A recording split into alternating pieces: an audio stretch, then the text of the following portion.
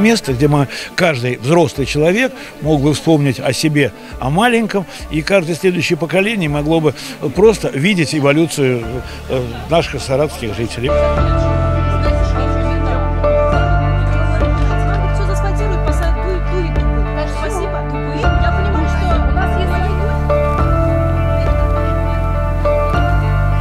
Занимались только башней, наверное, все жители сказали бы, ну спасибо, приведут ее в порядок. Но все дело в том, что по плану, который мы нашли, должны вырубить всю зелень между нашими домами, заасфальтировать. Там сделать детские площадки, музей под открытым небом.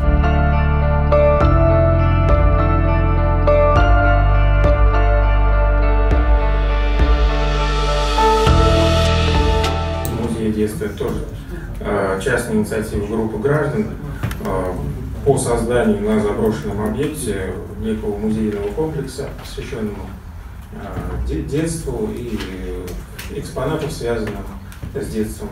Э, Инициатива абсолютно бесплатная, рассчитана на благотворительные средства и не потребует дополнительных источников бюджета города.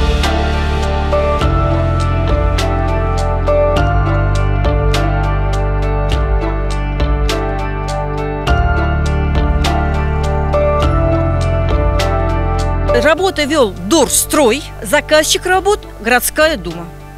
Это то, что они ответили. Мы говорим, разрешающие документы у начальника. Где начальник? Ну, естественно, не здесь. Ничего другого мы от них не добились. Единственное, что, что после первого нашего выступления они как бы перестали пилить в открытую. Их рабочие, рабочие потихонечку подпиливали.